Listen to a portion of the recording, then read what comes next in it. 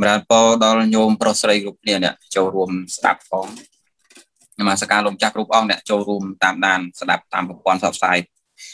សម្រាប់ខ្ញុំកណាផ្ទាល់មិនជាបញ្ហាទេដោយសារនិយាយដោយភាពស្មោះត្រង់ទៅ ជាដាក់បោះរស់អាស្រ័យទៅលើបាយទឹកដែលញោមនុកម្រងដល់ពេលអញ្ចឹងអាចនិយាយបានថាយើងអត់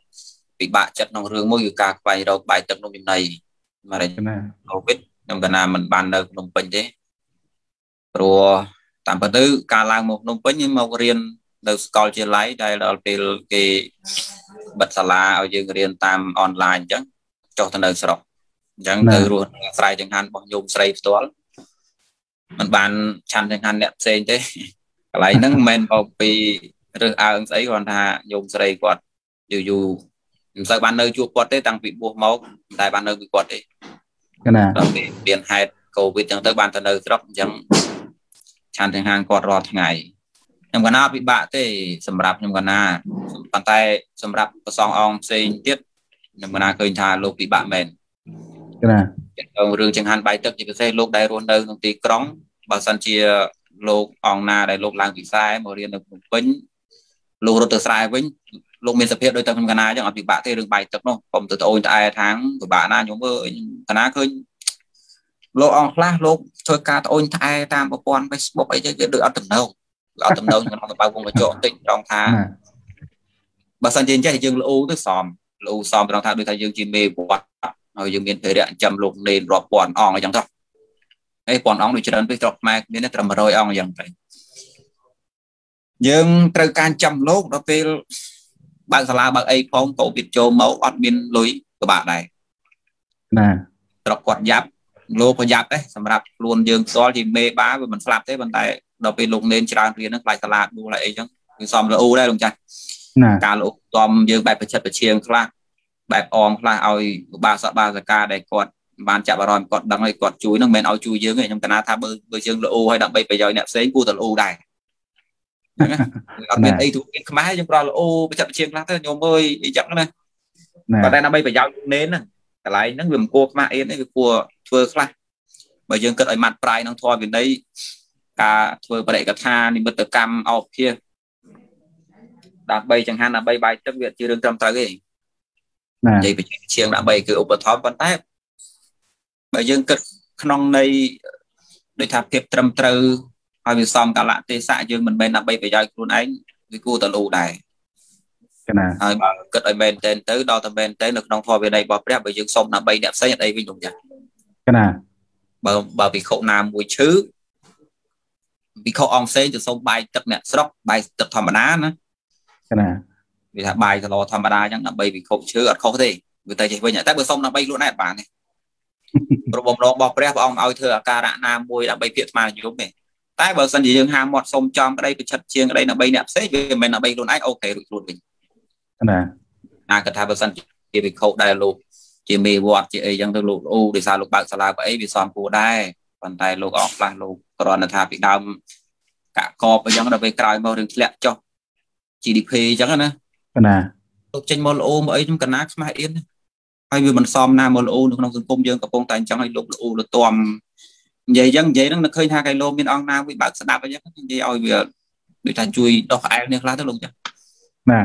គួរណាលោស្អីទេយើងរស់ដោយសារអ្នកស្រុកទេខ្ញុំកណាជឿថាបើខ្ញុំកណារស់ក្នុងសភាពបែបណាលោកក្នុងស្រុកខ្មែរដែលនៅតាមស្រុកស្រែក៏រស់ក្នុងសភាពបែបហ្នឹងដែរអត់មានខ្វះខាតទេព្រោះជាជាអេខ្ញុំកណានិយាយនេះវ័យឆ្ងាយពេកតែដឹងអត់អីទេថែមពីទួតណាចង់និយាយថាសម្រាប់ការទំនុកម្រងបាយទឹករបស់អ្នកស្រុកយើងគាត់ធ្វើទៅតាមរយៈផ្នត់នៃទំនៀមទម្លាប់ច្រើនជាងសទ្ធាណា ឲ្យតែរកឃើញថាលោកជីលោកតាតាមភូមិតាមស្រុកណាកៅទៅធាជ្រះថ្លាយល់ត្រូវពាល់ត្រូវធေါ်ឲ្យបានជ្រះថ្លាចេញពីចិត្តដល់បរិសុទ្ធប្រគេនបាយទឹកនឹងពុំសម្បូរទេ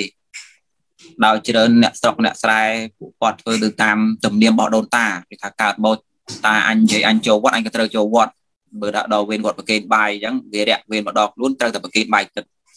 អញ្ចឹងឧទាហរណ៍ស្រុកខ្ញុំភូមិកណាអញ្ចឹងបើទោះបីថាកូវីដក្តីមិនកូវីដក្តីរឿងអ្នកស្រុកនៅតែយកបាយទៅវត្ត ប៉ុន្តែมันជាធ្ងន់ពេកទេដោយសារដោយសារមួយខែម្ដងគត់អូស្មានទោះមិនមែនមួយខែទេកន្លះខែកន្លះខែដល់ផ្ទះគាត់ម្ដងហ្នឹងហើយសឡមកស្រាក់មានទៅធ្ងន់ស្អីជាទំនៀមកន្លះខែដល់ផ្ទះអញម្ដងកន្លះខែដល់ផ្ទះអញម្ដងដល់ពេលខ្ញុំគាត់គិតថាតាមភូមិតាមស្រុកខេត្តផ្សេងផ្សេងក៏របៀបនឹងដែរមិនមិនរហូតដល់ស្លាប់ទេដោយសារផ្នត់នៃទំនៀមការចូលវត្តវាប្រគេនបាយទឹកលោកក្នុងស្រុកខ្មែរយើងគឺប្រហែលគ្នា ណាកណាចង់សួរបន្ថែមចំពោះនិយាយថាប្រសង់លោកខ្វះខាតហើយចោះញាតញោមតាមតំបន់តាមស្រុកហ្នឹងគាត់មានការខ្វះខាតនោះលោកតែខ្វះហើយប៉ុន្តែមើលឃើញសភាពមិនដែរគុណចាស់ខ្ញុំកណាកំពុងតែនិយាយរឿងនឹងឯងកំពុងតែនិយាយថាសិនបើយើងរស់នៅអាស្រ័យគេសោះហើយស្រាប់អ្នកស្រុកគេអត់គេក្រហើយគេមានរោគកូវីដផងគេនៅតែរស់បានហើយយើងគ្រាន់តោកលើគេសោះវាអត់មានអីត្រូវល្អទេលោកចាស់ខ្ញុំកណាថាបើកុហកគេអ្នករោគលុយផ្ទាល់គេល្អល្អចាស់ អូយរកស៊ីមិនបានទេអញក្រពិបាកអីចឹងណាបាក់ខាតពីមុខពីក្រោយអីចឹងទៅវាសមអត់លោកគួលអូដែរពួកគេអ្នករកផ្ទាល់ដល់ពេលយើងរស់នៅអាស្រ័យគេវាពិបាកមានពេលខ្លះទៅបើទោះបីយើងមិនអ្នកល្អផ្ទាល់ហើយឃើញអ្នកផ្សេងល្អពិបាករស់ឃើញលោកផ្សេងល្អមិនណាបាក់ចិត្តអង្គខ្លះលោកចេញស្នើតាម Facebook ដើម្បីប្រយោជន៍ខ្លួនលោកសុំនេះសុំនោះល្អរទាំរឿងបានទៅប៉ុនបែបថយចុះជាងមុនអីអីចឹងវាធ្វើឲ្យអ្នកស្រុកយើងមើងងាយមើងងាយអ្នកបោះ ណាដូចវាមានត្រង់ថាអ្នកបួសយើងទីមួយសុភាពចិត្តវាមិនទាន់ដាច់ស្រឡះឯណាដោយពោះពីអ្នកស្រុកទោះបីខ្ញុំកណាផ្ទាល់អីចឹងវានៅតែសៅមងអីចឹងប៉ុន្តែហើយណាពួកវាដូចថារឹកពីមានរយៈយើងគ្រាន់បើជាងតិចមានរយៈរបស់អ្នកបោះបើឲ្យត្រូវតាមបំណងរបស់ពុទ្ធជាមានរយៈខែងរែងអត់មែនទៅអណេបអណប់ទៅសុំគេទេទាំងពីការនិយាយខុសនិយាយត្រូវអត់មានទៅចាក់បដោយស្អីអណេបអណប់និយាយចិត្តណាទេ ឲ្យអែបអបទៅរឿងត្រូវទេកន្លែងណាត្រូវយើងអែបអបវានិយាយប្រឆិតប្រជែងយ៉ាងណាក៏ដោយដើម្បីការពាររឿងត្រូវប៉ុន្តែមិនឲ្យអែបអបបុគ្គលទេណាពួកការការអែបអបបុគ្គលណាមួយគឺដើម្បីប្រយោជន៍ខ្លួនឯងវាអត់សមទេណាដល់ពេលអញ្ចឹងវាមិនសមពូនអូខ្ញុំកណាថាបើគិតបែបខ្ញុំកណាផ្ទាល់មិនជាខ្វះទេសម្រាប់បាយទឹកណាហើយក៏វាអត់ជាទុកផ្លូវចិត្តដែរដោយសារព្រឹកឡើងដួសបាយទឹកអ្នកស្រុកគេស្រាប់ខ្ញុំកណាថាលោកស្រុកខ្មែរយើងក៏អញ្ចឹងដែរប៉ុន្តែពួកកញ្ចក់តិច សម្រាប់លោកនៅក្រុងពិតជាខ្វះមែនប៉ុន្តែមិនមែនដោយប៉ុន្តែស្រុកក្រៅប្រទេសក្រៅដែលថាអញ្ចឹងត្រង់ទៅថាដូចថាលុយកាក់ប្របាជាងបច្ច័យ4ណាមួយយ៉ាងស្រុកក្រៅច្រើនទេតែលោករស់នៅភ្នំពេញអង្គខ្លះគ្រាន់តែគ្រាន់តែបងលុយសាលាហើយសំបីតែរោគបច្ច័យដើម្បីទៅទិញចង្ហាន់ឆាន់ពេលព្រឹកមកអត់មានផងមិនមែននិយាយមិនមែននិយាយនឹងនិយាយថានិយាយគូហេតុពេកគឺចឹងមែនប៉ុន្តែណា គេហៅថាជីវភាពមួយថ្ងៃដើម្បីមួយថ្ងៃណា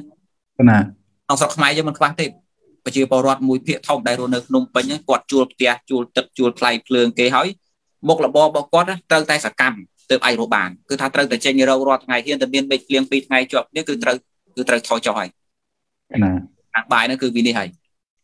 ដល់ពេលអញ្ចឹងសម័យកូវីដចូលមកការងារខ្លះគេត្រូវតែបិទមិនឲ្យលក់ដូរតាមទីសាធារណៈទេឧទាហរណ៍អ្នកលក់អីវ៉ាន់កាពេកប៉ុកតាមអឺ ស្អីមុខវាំងតាមទីសាធារណៈអីចឹងគេទៅ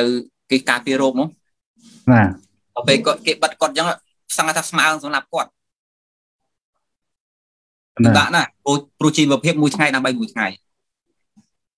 ដល់ពេលហ៊ានខានទៅរកស៊ី2 3ថ្ងៃគឺពិបាកលោកក៏ចឹងដែរជីវភាពរបស់លោកនៅភ្នំពេញលោកដើរបិណ្ឌបាតខ្ញុំកណានិយាយឲ្យចំថាមួយថ្ងៃដើម្បីពីរថ្ងៃពេលថាបិណ្ឌបាតមួយថ្ងៃរួមបានពីរថ្ងៃបិណ្ឌបាតអញ្ចឹងជាប្រកបដីរបស់លោក បាន40000ឬក៏50000ខ្លះក៏30000ខ្លះក៏20000មកដល់ឡើយហ្នឹង30000ពី30000 40000នេះហ្នឹងបងចាស់30000 40000មិនមែនជារឿងច្រើនទេប្រាប់ភ្នំពេញវាបាក់ណាទឹកសុទ្ធមួយដប5000អឥឡូវបាយ8000បាយ5000ស៊ីមិនកើតទេ3000គ្រាន់បានខ្លះទឹកសុទ្ធឡើងដល់5000ណាកណាប៉ុន្តែទឹកសុទ្ធខ្លះ5000ទឹកសុទ្ធខ្ញុំកណានិយាយពីអា អូបើនិយាយទឹកសុទ្ធល្អវាចឹងហើយតែបើថាទឹកសុទ្ធយើងធម្មតានេះពី2000 1000 2000អីចឹងក៏មានភេទជ្ជៈមកកំប៉ុង2005ទឹកសុទ្ធធំ2005អញ្ចឹងទៅទឹកសុទ្ធណាគេល្អគេចឹងទៅហើយបើគិតដល់រឿងបន្ទប់នៅក្នុងវត្តក៏ពិតមែនជាទីនៅវត្តប៉ុន្តែត្រូវបង់ភ្លើងដែរវិភាគកទានក្នុងវត្តកន្លែងខ្លះយើងត្រូវទិញបន្ទប់គេនៅទៀតផងលោកនៅភ្នំពេញនោះណាអូខេយើងចុះ គាត់ណាអញ្ចឹងត្រូវឲ្យលុយទៅក្នុងនេះរៀបរាប់ឲ្យញោមខាងក្រៅបានដឹងខ្លះណាហើយលោកញោមថាញោមណាដែលដែរដឹងជាមើលមកលោកអើយលោករស់ស្រួលដល់ហើយនិយាយនឹងដើម្បីចង់បត់ពួកនឹងខ្លះថាវាមិនចាំទាំងអស់ទេវាដូចថាលោកមួយថ្ងៃដើម្បីមួយថ្ងៃបើលោកនៅក្នុងពេញពិតជាលំបាកមែនខ្ញុំកណាជឿថាអញ្ចឹងប៉ុន្តែវាណាបើវងកញ្ចក់វាសម្រាប់អង្គណាដែលមានតំណែងត្រីសងអង្គណាជាធម្មសទឹកអង្គណាដែលលោកមានខ្សែមានសាឡាយមានខ្នងអីគេនោះណាលោកអស់ហ្នឹងមិនស្លាប់ទេ ព្រោះសម័យណាក៏ដោយព្រោះលោកវាដបោគ្រាន់ថាវាមិនទៅដូចមុនអញ្ចឹងណាបាទប៉ុន្តែសម្រាប់លោកដែលមករៀនពីស្រែមកភ្នំពេញពិបាកដែរហើយលោកចុះទៅវិញតែលោកដែលមានជីវិតជីវ៉ានៅភ្នំពេញតែម្ដងស្រុកលោកនៅក្បែរក្បែរនឹងវត្តលោកកំណើតនៅហ្នឹងគឺពិបាកមែនទេណាអូខេអរគុណច្រើនចំពោះការរៀបរាប់របស់គុណចាស់ហ្នឹងក៏ឃើញថាប្រសង់ខ្វះខាតមែនតែតាមកណានៅរៀនហ្នឹងក៏ខ្វះខាតប៉ុណ្ណឹងហើយតម្រាំតែ គុណចាស់នៅសម័យ COVID-19 ហ្នឹងវារៀលដាលប៉ុណ្ណឹងទៀតខ្វះខាតមែនទែនប្រធានបទរបស់យើងដែលយើងបានដាក់ផ្សាយហ្នឹងគឺខ្ញុំបណ្ណាចង់បដោតអារម្មណ៍ទៅលើគុណចាស់នៅខាងស្រុកខ្មែរបានឃើញទស្សនវិជ្ជាហ្នឹងគឺការចំណាត់ការរបស់សាលាក្រុងយើងឃើញថាគាត់ធ្វើបានល្អប្រសើរហើយយើងលើកយកមកនិយាយនេះក្នុងន័យថាដើម្បីជាការការពារកុំឲ្យមានការកើតឡើងសារជាថ្មីនៅក្នុង សភាពបែបហ្នឹងដែលធ្វើឲ្យមានការប៉ះពាល់ទៅក្នុងបរិស្ថានការរស់នៅរបស់មនុស្សជាពិសេសគឺទន្លេសាបគឺជាបឹងមួយដែលពោពេញទៅដោយថាធម្មជាតិណាបើយើងរស់នៅបែបចិញ្ចឹមត្រីឲ្យត្រីស៊ីនៅក្នុងរបៀបដូចជាចិញ្ចឹមត្រីនៅក្នុងទន្លេហ្នឹងធម្មតាឲ្យគេការចិញ្ចឹមត្រីធម្មតាគេឲ្យចំណី ការឲ្យចំណីហ្នឹងគឺវាអាចប៉ះពាល់ទៅដល់ចរន្តនៃទឹកផងដែរព្រោះទឹកហ្នឹងវាមិនអាចនៅក្នុងនៅក្នុងក្នុងនៅក្នុងលេងការចិញ្ចឹមរហូតទេកាលណាដែលចិញ្ចឹមហ្នឹងវាអាចហូរទៅអាការឲ្យចំណីចំណុកហ្នឹងវាអាចប៉ះពាល់ទៅក្នុងទឹកផងហើយនឹងការរស់នៅហ្នឹងដូចជាការប្រើប្រាស់ទឹកការរស់នៅប្រើដូចជាកបតោបងអីជាដើមនោះធ្វើឲ្យមានការប៉ះពាល់ទៅក្នុងការរស់នៅរបស់ពួកគាត់ តើឥឡូវនោះគុណចាស់មានការចាប់អារម្មណ៍ទៅលើចំណុចណាខ្លះដែលធ្វើឲ្យមានការចំណុចបរិស្ថានហ្នឹងមានអីគួរអីចែករំលែកដែរគុណចាស់ខ្ញុំកណាសូមក្រាបថ្វាយបង្គំព្រះធរៈគ្រប់ព្រះអង្គម្ដងទៀតប្រានពរញោមចូលរួមសារថ្មីសម្រាប់រឿងចំណាត់ការដែលរដ្ឋាភិបាលធ្វើនឹងខ្ញុំកណាអត់និយាយអីទេប៉ុន្តែសូមនិយាយអំពីផលប៉ះពាល់តាក់ទងរឿងអ្នកនៅក្នុងទឹកណា ព្រោះអ្នកនៅក្នុងទឹកអ្នកនៅលើទឹកនេះមិនមែនមានតែយួនទេមានទាំងខ្មែរយើងខ្លះដែរមិនមែនអត់ទេខ្ញុំណាក៏បានធ្លាប់ទៅរស់នៅលើទឹកផ្ទាល់ដែរមានខ្មែរមានចាមមានបងប្អូនចាមហើយក៏មានវៀតណាមនៅពីលើទឹកនឹងប៉ុន្តែដោយច្រើនសង្ឃថា90%គឺជនជាតិយួននៅលើទឹកហ្នឹងការរស់នៅលើទឹកវាមានបញ្ហារំចាស់រឿងហ្នឹងមិនមែនជារឿងកំបាំងឯដែលយើងពិបាក ថាត្រូវមានម្នាក់នឹងចុះទៅកកាយបើមិនយើងសង្កេតមើលបន្តិចគឺឃើញបានអស់នេះការរស់នៅលើទឹកប្រការមួយវាធ្វើឲ្យអាកសែទឹកខាងក្រោមនោះកកក់ពូទលេរបស់យើងជាប្រកដីវាជាទលេដែលទឹកថ្លាពីដើមទឹកថ្លាល្អប៉ុន្តែចាប់ពីពេលដែលមានអ្នកចុះទៅនៅពីលើទឹកនឹងមកវាធ្វើឲ្យទឹកទលេកខ្វក់ កខ្វក់មែនតើលោកចាស់បើសិនបើលោកចាស់បានបលេងខ្មែរនឹងមកឃើញទឹកទលេយើងមានមានពណ៌ចេញជា2ជា3កន្លែងណាដែលកសែទឹកម្ដុំណាដែលវាអត់មានអ្នកនៅពីលើទេអត់មានអ្នកបូមខ្សាច់ទេអត់មានអីទេវាវាថ្លាបែបធម្មជាតិរបស់វាយើងអាចងូតបានសង្ឃថាផឹកគោតបានទេទឹកទលេហ្នឹងប៉ុន្តែទឹកទលេណាដែលវាហូរកាត់កន្លែងមាននិគមរបស់ប្រជាជនយួននៅហ្នឹងគឺវាវាកល ងពលងចាស់ដឹងស្រេចខ្ញុំកណាត្រូវនិយាយធ្វើអីអារឿងថានៅទឹកវាកលងយ៉ាងម៉េចពូស៊ីជុះទាំងប្រមាណវានៅក្នុងហើយមួយយ៉ាងទៀតការចិញ្ចឹមត្រីអឺនៅពីក្រោមផ្ទះទឹកហ្នឹងវាត្រូវតែធ្វើឲ្យទឹកនឹងល្អហើយអញ្ចឹងវាអត់ល្អទេសម្រាប់ទីក្រុងយើងព្រោះទឹកទន្លេហូរមកវាហូរកាត់ទីក្រុងអញ្ចឹងណាពួកប្រជាជនច្រើនណាស់ជាពិសេសប្រជាជននៅក្រុងក៏រស់នៅក្រោមទឹកអញ្ចឹងត្រូវបូមទឹកទន្លេនឹងមកធ្វើទឹកសត់ផងបូមទឹកទន្លេនឹងមកអាងងូយទឹកអីទឹកទឹ កកន្លែងខ្ញុំកណានៅហ្នឹងគឺងូយទឹកទន្លេទេទឹកហ្នឹងបើកមកគឺมันអាចបានស្លាទេបើទោះបីយើងប្រើឆ្នាំប្រអីបានណាដែរគឺមិនអាចបានស្លាព្រោះប្រភពរបស់វាល្អហ្នឹងដល់ពេលយើងប្រជាជនច្រើនជាពិសេសប្រជាជននៅក្រុងសង្ឃថាមកក្រុងរស់នៅក្រោមទឹកដែលវាស្អុយអញ្ចឹងរស់នៅក្រោមទឹកដែលវាឆ្អាបទឹកទលេឆ្អាបហ្នឹងលោកចាស់លោកចាស់ហ៊ានមកលេងស្រុកខ្មែរយើងជិះទូកជិះអីកំសាន្តចាស់យកដៃលូកលូហើយយកមកលុបមកគឺឆ្អាបពេញមុខហ្មងមិនដឹងថា មិនដឹងថាមកពីអីខ្លះទេយើងនិយាយត្រួសត្រួសថាមកពីអាចដូរមិននឹងត្រីអីមានមកពីអីវាមិនវាមិនមកពីស្អីទេមួយយ៉ាងយើងទៅលើកពីរឿងនឹងតែមួយយ៉ាងក៏មិនកើតដែរលើកអំពីរឹករបស់ពលរដ្ឋយើងដែលពួកគាត់អត់មានទំនួលខុសត្រូវផងពួកគាត់រស់នៅតាមទន្លេហ្នឹងលូអាចរបស់គាត់គឺទៅទន្លេទាំងអស់ទ្រង់ជ្រូកបែរទៅទន្លេវាចូលរួមនេះដែរណាទោះទៅយួនពេកដូចមិនកើតទេវាមានសម្រាមអីចឹងបោះទៅទន្លេហើយខ្ញុំកណាគឺតឡាសម្រាមក្រោយផ្ទះហ្នឹងមិនចេះបោះមិនចេះមិនចេះដុតមិនចេះកើតវាទេគឺរុញទៅទន្លេហើយលោកចាស់ លោកចាស់ទៅមើលអាផ្ទះតាមមាត់ទន្លេលោកចាស់ទៅអើតាមក្រោយផ្ទះគាត់គឺសម្រាមនៅពីក្រោយទន្លេហើយវារួមចូលគ្នាទៅទន្លេយើងទៅមួយដល់ពេលយើងវាខ្មៅហ្មងវាលមូលមកឡើងលឿងលឿងបែបឆ្អាតហើយហូរមកទោះបីតែយើងជិះលើសាឡាងពីលើហ្នឹងគ្រាន់តែចូលទឹកសាច់មកពីលើក៏ឆ្អាប់ដែរมันចាំបាច់ទៅនិយាយដល់ចុះងូយហើយចុះបើយើងបំទឹកនឹងយកមកប្រើក្រោះវាចាប់ប៉ុណ្ណាទេនឹងប្រការមួយការដែលគេមិនឲ្យរស់នៅ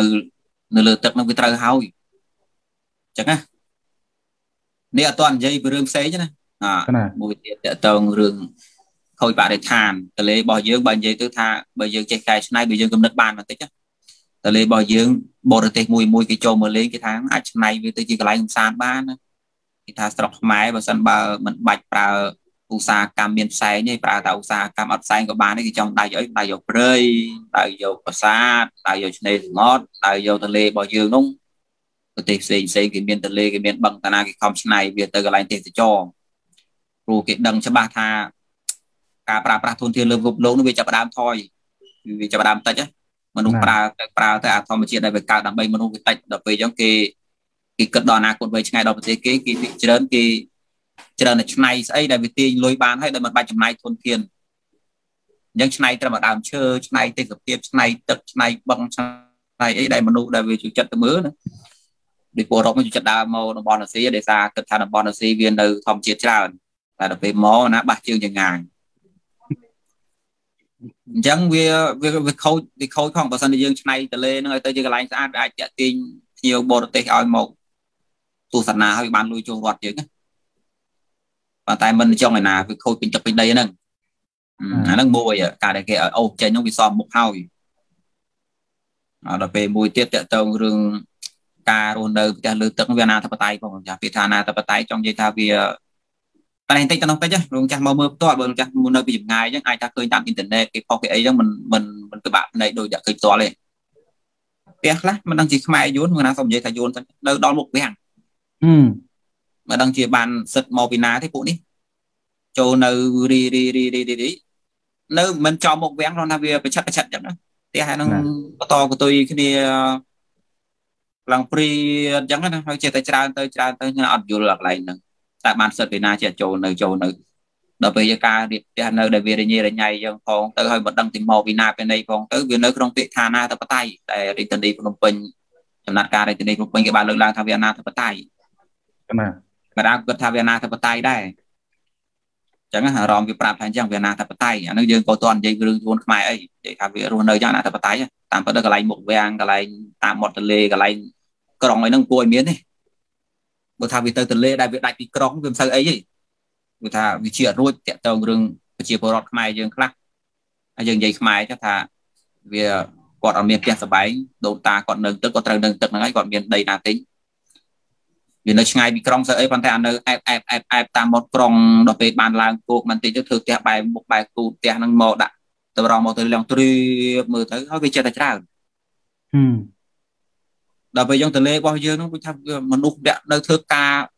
ក្នុង office អីចឹងទៅមួម៉ៅក្តៅក្រហាយចង់ចេញមកកំសាន្តមកស្រូបខ្យល់អាកាសមកទៅលេមកដល់ស្អុយងោងអញ្ចឹងវាដូចមិនដឹងកិច្ចទៅតាណាភ្នំចេញលោកចាស់អត់សុបាយទេខ្ញុំកណាការនៅវិញ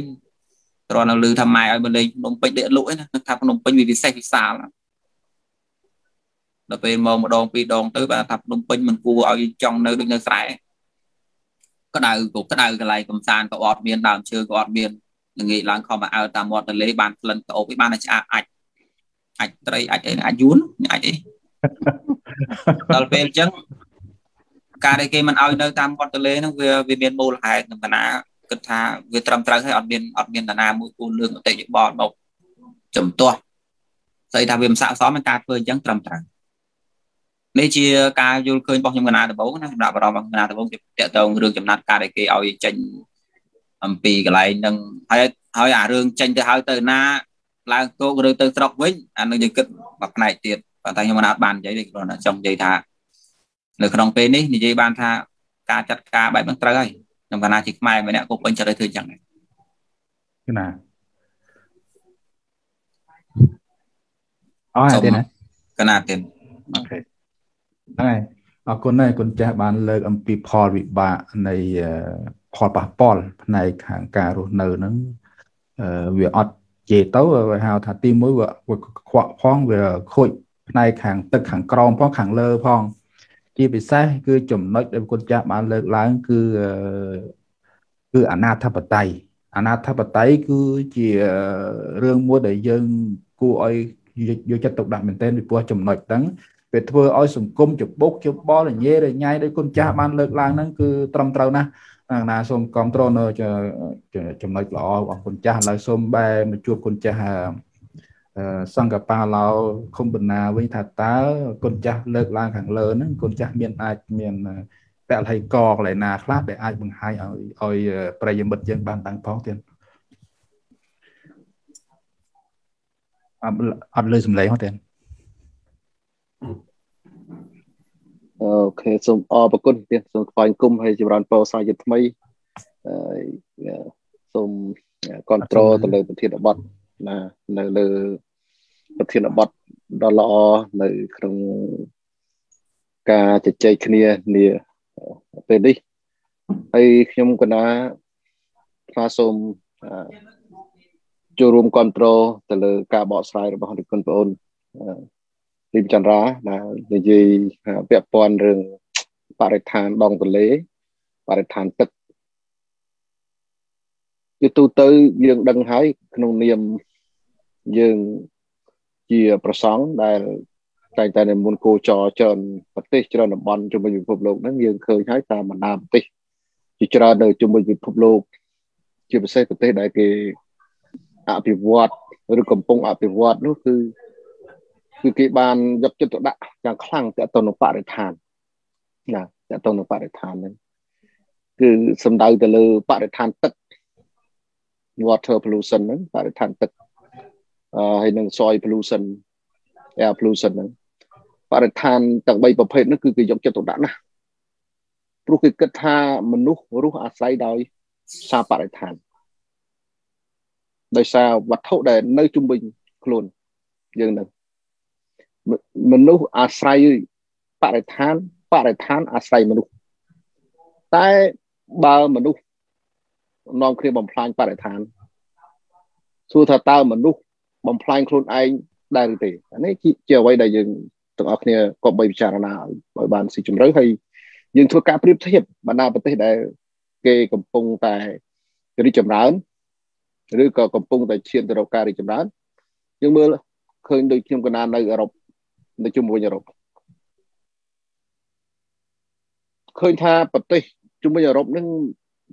ភាគច្រើននៃប្រទេសទាំងនោះឬក៏100%នៃបណ្ដាប្រទេសទាំងនោះគេមិនបានគេថាគិតថាកាន់យកពុទ្ធសាសនាឬក៏យកពុទ្ធសាសនាជាទីពឹងអីដូចនៅបណ្ដាប្រទេសមួយចំនួនយើងនៅអាស៊ីមានកម្ពុជាជាដើមប្រទេសគេកាន់សាសនាផ្សេងផ្សេងប៉ុន្តែគេឲ្យតម្លៃទៅលើ ធនធានធម្មជាតិគេឲ្យតម្លៃទៅលើបរិស្ថានគេឲ្យតម្លៃទៅលើជីវៈចម្រុះរុក្ខជាតិសត្វហើយជាពិសេសគឺមនុស្សនឹងតែម្ដងខ្ញុំកណាឃើញស្រក់ទឹកភ្នែកមែនតើឃើញនៅស្រុកគេដែលគេស្រឡាញ់ដើមឈើព្រៃឈើសត្វព្រៃ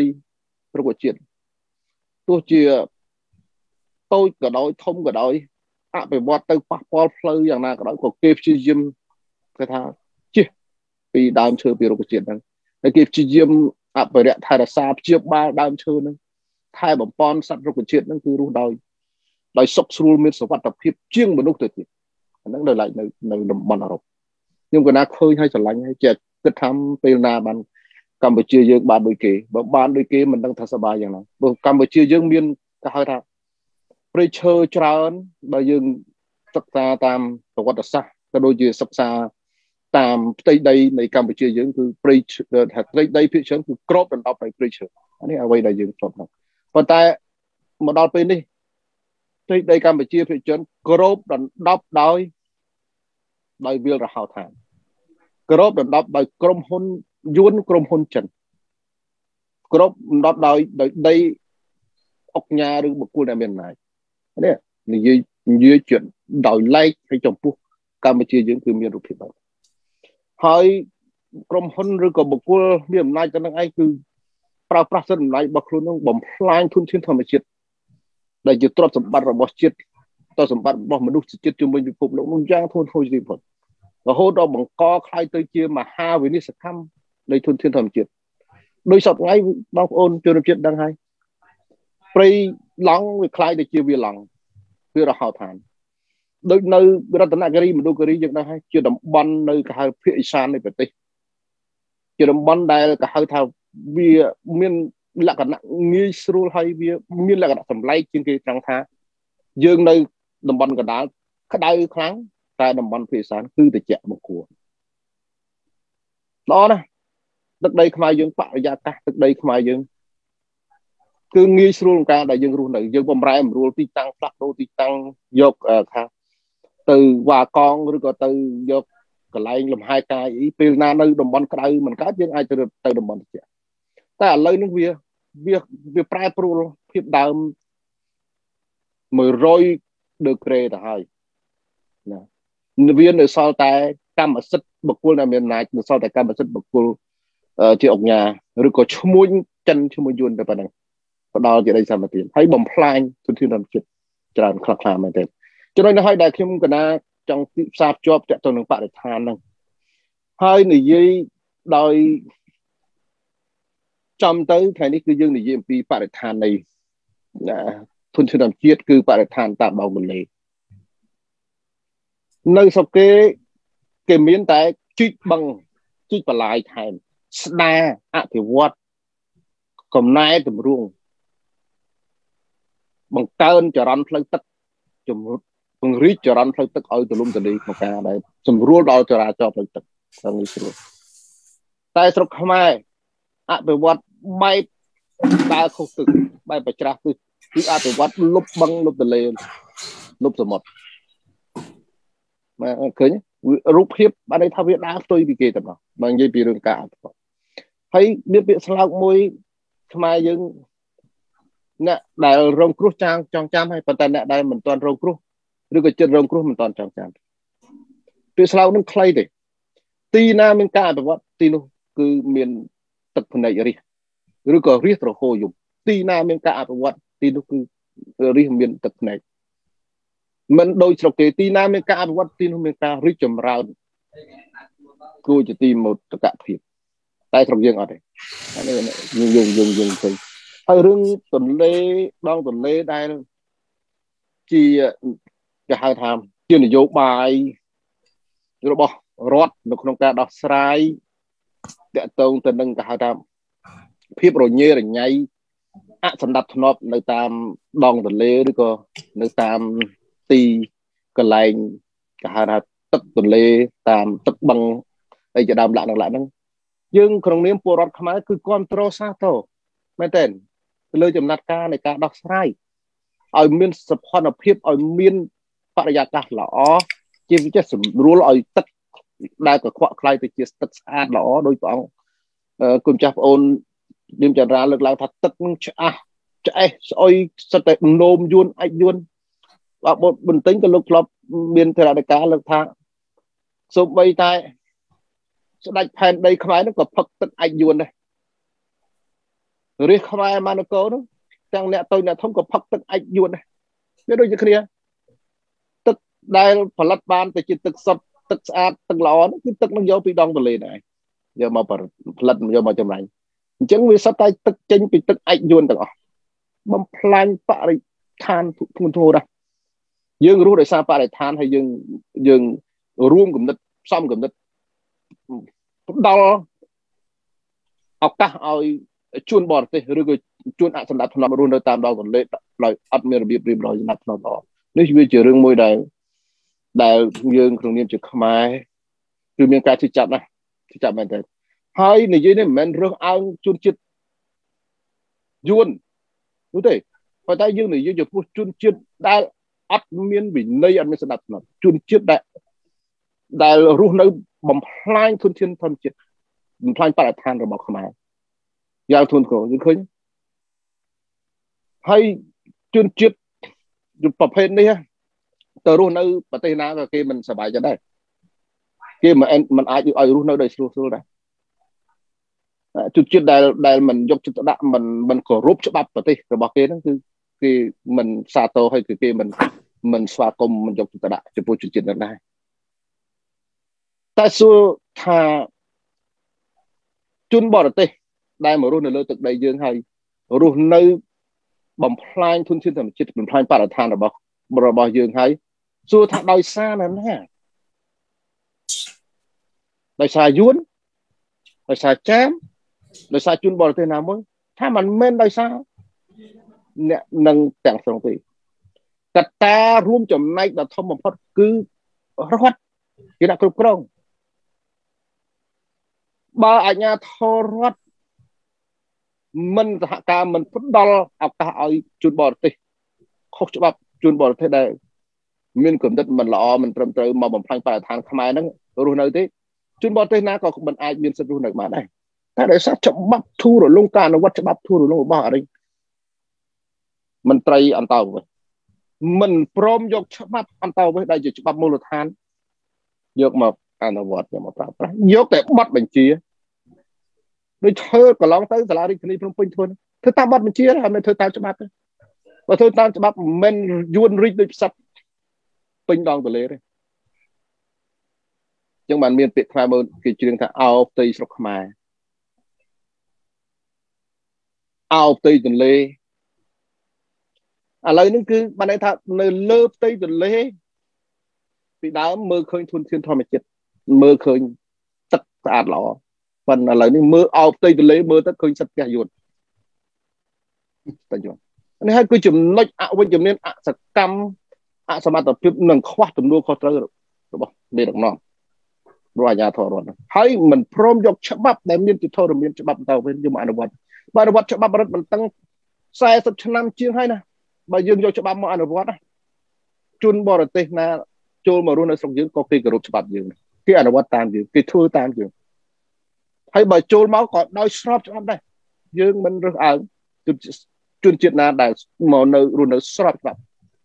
មានការគោរពច្បាប់មានការចូលរួមជួយថែរក្សាការពារបរិស្ថានធនធានធនជាតិរបស់ខ្មែរនោះទេតែយើងមើលរូបភាពនៃការចូលរួមសំគំនិតបំផ្លាញធនធានធនជាតិរបស់ខ្មែរគឺអាញាធររដ្ឋរបស់ខ្មែរអាធររដ្ឋរបស់ខ្មែរហើយទន្ទឹមនឹងការដែលថាសម្អាតនៅដងទន្លេដោយប្រើគោលនយោបាយដោយប្រើបទបញ្ជា ដែលជាជា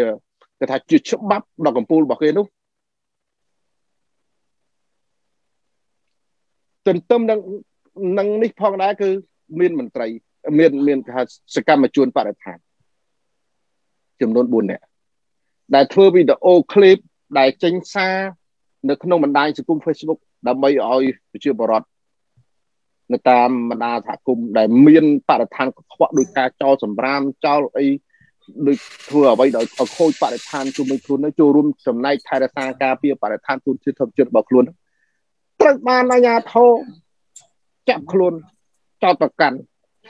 តាមផ្លូវច្បាប់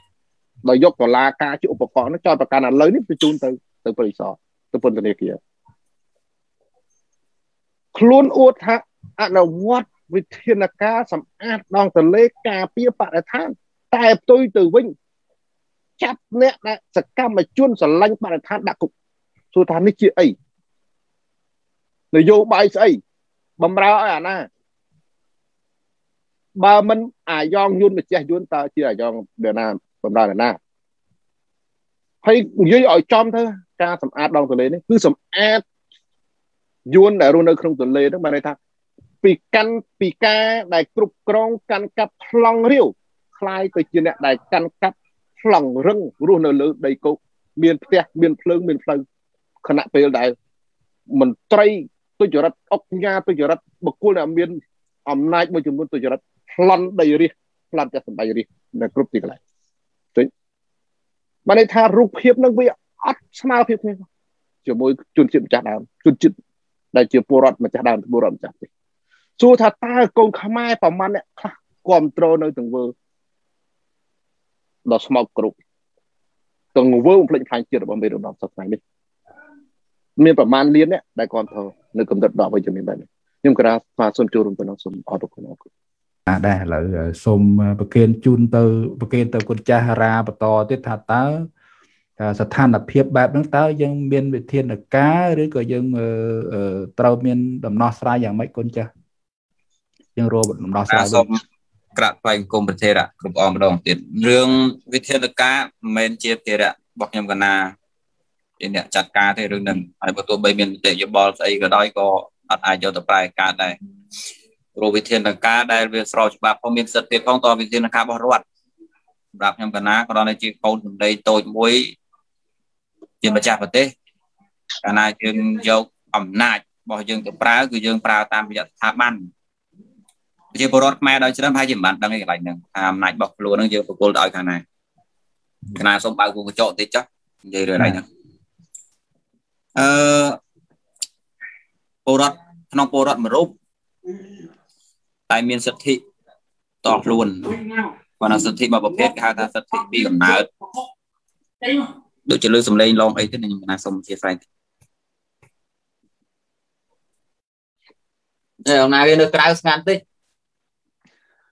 ជាស្រ័យផងទៀតកន្លែងកណាបាក់តទៀតអឺខ្ញុំកណាថាទៅ ក្នុងប្រជាពលរដ្ឋមួយរូបកើតមកនៅក្នុងទីណាវាត្រូវភ្ជាប់ជាមួយនឹងសិទ្ធិរបស់ខ្លួនមកជាមួយហើយយើងនិយាយស្រួលស្ដាប់ថាសិទ្ធិពីកណើតគឺថាអ្នកឯងកើតនៅក្នុងកន្លែងណាថោចណាក៏មានសិទ្ធិរស់រានមានជីវិតដែរវាគ្មានព្រះប្អិនអ្នកណាមកកំណត់ថាជីវិតរបស់ឯងលើអាចអាចឲ្យរស់ក៏បានឲ្យរស់ក៏បានអត់មានចឹងទេកើតមកហើយអាចយើងគិតត្រឹមកើតណាកើតមកហើយគ្រប់គ្នាមានសិទ្ធិរស់រានមានជីវិតអាពាក្យថាសិទ្ធិរស់រានមានជីវិតវាតថាមានរបស់ឲ្យរស់ព្រោះមនុស្សវាស៊ីឲ្យជុះ មិនដូចដុំថ្មទេដល់ពេលអញ្ចឹងវាត្រូវថែមដោយសិទ្ធិមួយប្រភេទទៀតសិទ្ធិក្នុងការទទួលយកភពទ្រព្យអំពីផែនដីព្រោះដើម្បីរស់បានវាតមានទ្រព្យអញ្ចឹងបើយើងកើតតាណាយើងចាយវាយើងប្រើប្រាស់ទ្រព្យសម្បត្តិនៅត្រង់ទីហ្នឹងហើយគ្មានជនណាមួយអាចប្រើសិទ្ធិតខ្លួនមកដេញយើងចេញបានទេអានេះបើយើងកើតតាណា ភាពយុត្តិធម៌នៃធម្មជាតិគឺកន្លែងហ្នឹងជារបស់យើងចឹងណាអដល់ពេលអញ្ចឹងបើសិនបាក់ដូនតារបស់យើងនឹងគាត់កើតមុនយើងគាត់បសល់ទ្របមកជាសិទ្ធិពីធម្មជាតិរបស់ទៀតទ្របហ្នឹងគឺត្រូវទ្របរបស់យើងហើយយើងជាកូនចៅចនក្រោយបើដូនតានឹងជាដូនតារបស់យើងរបស់ហ្នឹងមិនជារបស់យើងឲ្យជារបស់ណាណាអ្នកឯងកើតនៅអឺរ៉ុបអានោះរបស់អ្នកឯងខ្ញុំកើតនៅតំបន់អាស៊ីថៃលាវឡាវយួនអាហ្នឹងរបស់ខ្ញុំ ពួកអ្នកកើតនៅអាហ្វ្រិកក៏អាហ្វ្រិកទៅកើតនៅមជ្ឈមបូព៌ាក៏មជ្ឈមបូព៌ាទៅអ្នកកើតតាមកោះតាមអីហ្នឹងពួកកើតតាមចាំតិចអេស្ងាត់លើសំខាន់ទៅចំណាឡើង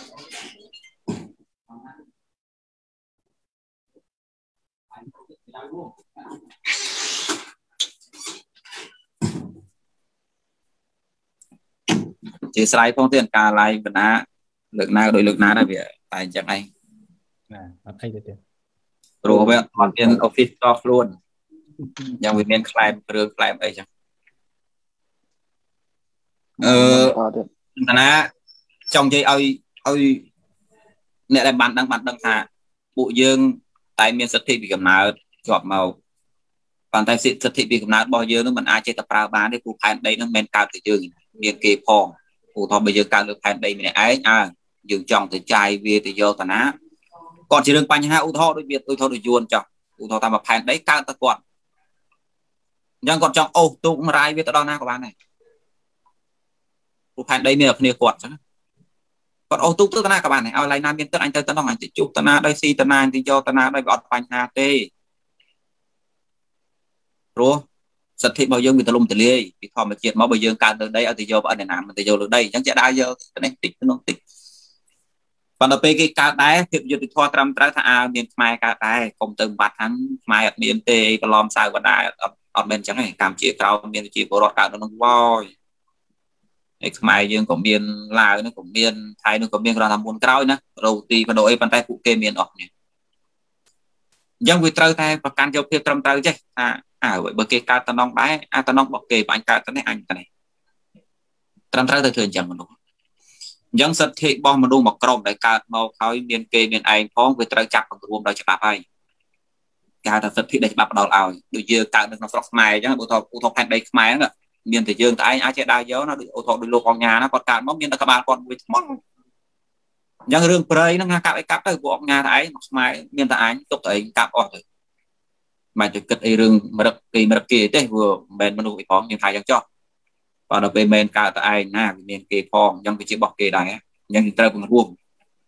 ចែកគ្នានិយាយទៅស្ដាប់អាហ្នឹងហៅសម្រាប់ធម៌ឬយុត្តិធម៌សិទ្ធិមានពីកំណើតប៉ុន្តែត្រូវបានចាប់បង្រួមព្រោះយើងរស់នៅជុំគ្នាត្រូវមានគោលការណ៍រួមកំណត់ថាឯងមានត្រឹមណេះត្រឹមណេះការសិទ្ធិនៅក្នុងដែនច្បាប់នឹងបាននៅក្នុងរដ្ឋធម្មនុញ្ញខ្មែរយើងនឹងគេបាននិយាយដែរតើរាជាក្តីមន្ត្រីក្តី សមាជិកសភាក្តីនេះគេចូលរួមតាក់តែងច្បាប់នឹងឡើងគេបាននិយាយថាម៉េចខ្លឹមសាររបស់គេណាគេបាននិយាយថាប្រជាពលរដ្ឋខ្មែរស្រីប្រុសទាំងពីរភេទហ្នឹងមានសិទ្ធិស្មើគ្នាចំពោះមុខច្បាប់ប៉ុន្តែការប្រើសិទ្ធិហ្នឹងស្ថិតនៅក្នុងខែដែននៃច្បាប់ដែលបានកំណត់អានឹងយើងគិតទៅក្នុងប្រទេសយើងតែបើយើងគិតរួមដោយពិភពលោកថាក្នុងភាពត្រឹមត្រូវណាអ្នកឯងកើតនៅតាណានោះជាបនឯងកុំទៅលុកលុយរបស់គេ ទៅលុយលុយរបស់គេមានរឿងអត់ចេះចប់ទេអ្នករងគ្រោះក៏ហត់អាអ្នកដដើមទៅនោះក៏បានស៊ីស្រួលដែរដដើមទៅដដើមមកបង្ហើយក្រោយពួកយើងបបតកទុយគ្នាអត់មានសល់ទេបើទោះបីក៏ដោយយូរដល់ខ្មែរដែរមិនមិនហត់តែមួយខាងតែហត់ទាំងពីរនេះ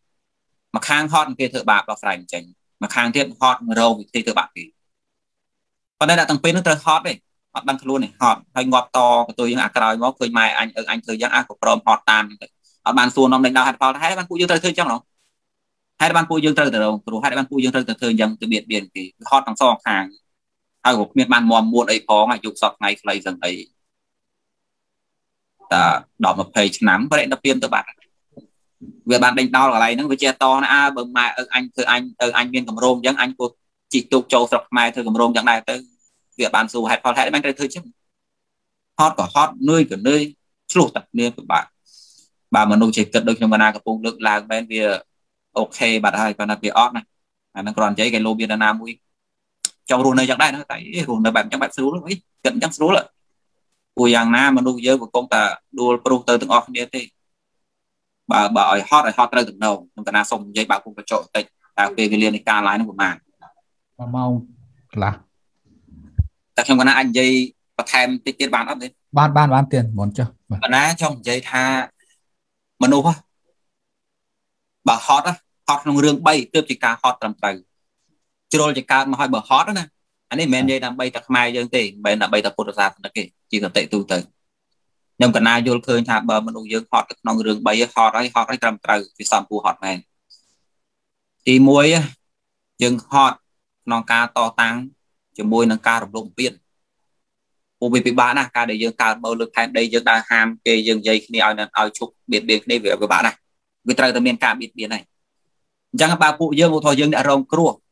យើងហត់ក្នុងការរកយុទ្ធធម៌មកវិញការហត់បែបហ្នឹងគឺត្រឹមត្រូវហើយប៉ុន្តែកូនខ្មែរខ្លះអត់មានអត់អត់រហត់ទៅនឹងទេបើដឹងជាវាកិច្ចទៅណាវាទេសប្ងៃនោះវាស្មានវាកិច្ចហើយវាបាត់ហត់ណាអូយរឿងនយោបាយហត់ណាចុះឯងសងំស្ងៀមឯងបាត់ហត់មែនបើឯងសួរខ្លួនឯងទេឯងឯងមិនដោះស្រាយទេដូចថាគេចោលដីម្ដុំមកអាចនៅពីលើក្បាលអូយអាណាកគូសក់នេះវាសុបហត់ អាអញ្ចឹងបើឯងអត់រវល់វាទេឯងបាត់ហត់វាមិនបាត់ហត់ទេវារត់ទៅធ្ងន់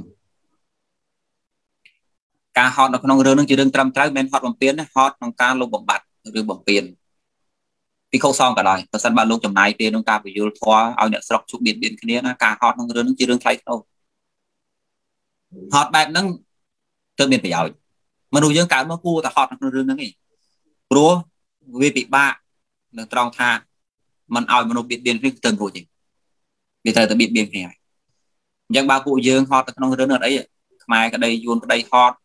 តែក្នុងរឿងថាបើមាននរណាបបៀតបៀននរណាអញហត់ក្នុងការដោះស្រាយបៀតបៀនអញក្តីបៀតបៀនគេក្តីអញហត់ហ่ะមិនចង់ហត់ក៏ត្រូវហត់ដែរប៉ុន្តែហត់ត្រូវតែបើបើប្រជាជនលើពិភពលោកយើងទុកកម្លាំងទុកពេលវេលាទុកប្រាជ្ញាស្មារតីមកទប់ទល់កន្លែងហ្នឹងវិញល្អជាងទៅពួកយើងសុខអស់គ្នា ដល់ពេលហត់ទី2ហត់ខត់ក្នុងរឿងការតទល់ជាមួយនឹងធម្មជាតិត្រូវស៊ីត្រូវជួសរាល់ថ្ងៃឥឡូវពួកយើងរស់នៅក្នុងប្រទេសដូចថាប្រជាជនខ្មែរយើងមកក្រុមអ្នកចេះដឹងអ្នកមានកម្លាំងអ្នកមានប្រាជ្ញាទាំងប្រមាណមួយថ្ងៃមួយថ្ងៃខត់តើធ្វើម៉េចនោះដើម្បីឲ្យការហូបចុករបស់ខ្មែរយើងនៅតែស្រួលដើម្បីឲ្យភ្លៀងនៅតែធ្លាក់ដើម្បីឲ្យទឹកនៅតែមានដើម្បីឲ្យព្រៃនៅតែដុះដើម្បីឲ្យភោគផលនៅតែចាយវាគ្រប់គ្រាន់យើងចាយវារាល់ថ្ងៃហ្នឹងវាចេះតែសាបសូន្យទៅតើយើងត្រូវធ្វើម៉េចហត់ក្នុងការទទួលធម្មជាតិ ហត់បែបហ្នឹងទើបត្រឹមត្រូវហើយយួនហត់បែបយួនទៅអ្នកប្រាជ្ញអ្នកចេះដឹងបែបពួកគាត់ណាកុំមកហត់ក្នុងការរករឿងខ្មែរឯងក៏គ្មានបានសុខអីដែរឯងចំណាយពេលវេលាហត់អើបើអញកើតចំដែនដីដែលមិនសូវមានជីវជាតិទាំងទេមានទលេមិនសូវមានត្រីអញត្រូវឆ្នៃគូក្បាលចឹងដូចពួកអ៊ីស្រាអែលវាកើតនៅក្នុងដីតំបន់ខ្សាច់មានទលេដូចយួនផងមិនក៏អត់ដែរហើយថាអ៊ីស្រាអែលគេមានគេមានតែសមុទ្រគេមានតែដីខ្សាច់មានរ៉ែផងតែគូក្បាលរបស់ពួកគេគេឆ្នៃទៅជាប្រទេសមហាសេដ្ឋកិច្ច មហាយោធាហើយក៏ជាប្រទេសដែលស្ដេចកសិកម្មទៀតផងនៅលើដែនដីដែលក្តៅបំផុតជនជាតិអ៊ីស្រាអែលគេហត់ទៅក្នុងរឿងនោះគេគេថ្លៃធ្នូអញ្ចឹងបើសិនជាយួនគាត់ថ្លៃធ្នូគាត់ត្រូវហត់ក្នុងរឿងនោះដែរអញបាច់មករៀបគម្រោងស្អីជាមួយខ្មែរបាក់អានឹងនិយាយត្រង់អញកើតនៅតាណាអញខំឆ្នៃគូក្បាលអញហ្នឹងទប់ទល់កែឆ្នៃធម្មជាតិតែមិនដើម្បីប្រជាជនរបស់អញឲ្យស្រួលតែប៉ុណ្ណឹងទៅបានហើយអានេះនិយាយនេះចាមានណាគេទៅគិតអញ្ចឹងបើពួកគាត់ចេះគិតអញ្ចឹងមកមានរឿងដល់ហើយ នេះខ្មែរយើងអ្នកគិតចឹងណាពុទ្ធសាសនិកយើងខ្លះគិតចឹងតែសាសខ្លះមិនគិតចឹងឯងអញ្ចឹងបើបើហត់នឹងរឿងត្រឹមត្រូវហត់ទល់ធម្មជាតិសប្តាហ៍ថ្ងៃពិភពលោកយើងកំពុងតែប្រេះកំពុងតែក្តៅកំពុងតែហួតកំពុងតែហែងពួកអ្នកឆ្លាតអ្នកឆ្លៀសទាំងប្រមាណហ្នឹងខំប្រាំងប្រើចំណេះវិជ្ជាទទល់ធម្មជាតិដើម្បីពួកយើងអស់គ្នាហត់បែបហ្នឹងទើបបានសក់ដល់ពេលហត់មួយទៀតតបទល់ហត់ក្នុងរឿងក្នុងការក្នុងមិនមែនខ្ញុំកណាសុំមិនប្រើពាក្យតបទល់ទេសូមប្រើពាក្យថា តុងទាញឬថាទប់ប្រើពាក្យទប់ស្រួលជាងហត់ក្នុងការទប់ច្បាប់ធម្មជាតិគឺជារៀបជាធិមរណៈកើតមកវាត្រូវតែចាស់វាត្រូវតែឈឺវាត្រូវតែស្លាប់มันអាចបដិសេធបានទេมันมันมันដាក់ពាក្យថាទប់มันដាក់ពាក្យថាខាត់ទេដាក់ពាក្យថាទប់បន្តិចបន្តិចបន្តិចអញ្ចឹងដូចដុំថ្មដែលវាត្រូវតែល្មៀលអញ្ចឹងយើងមិនអាច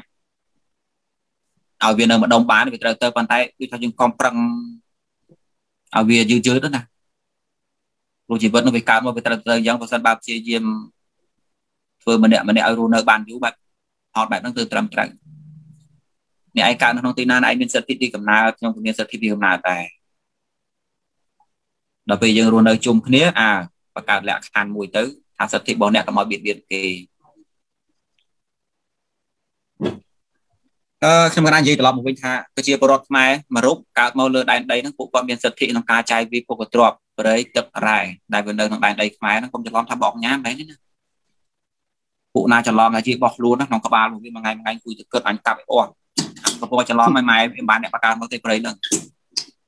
គឺវាជារបស់ពលរដ្ឋខ្មែរយើងទាំងអស់ក្នុងភាពត្រឹមត្រូវណានាកើតមកក្នុងដែនដីខ្មែរទៅហើយទៅសំបីតែសំបីតែវៀតណាមក៏ដោយដែលគាត់មានសញ្ជាតិនៅនឹងដូនតាគាត់ប្រមាណតំណនៅហ្នឹងអាពោក៏ទ្របនៅក្នុងទីហ្នឹងគឺជារបស់គាត់ដែរ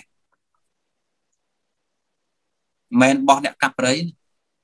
ប៉ុន្តែពួកនោះវាអត់មានកាន់គោលការណ៍ហ្នឹងទេ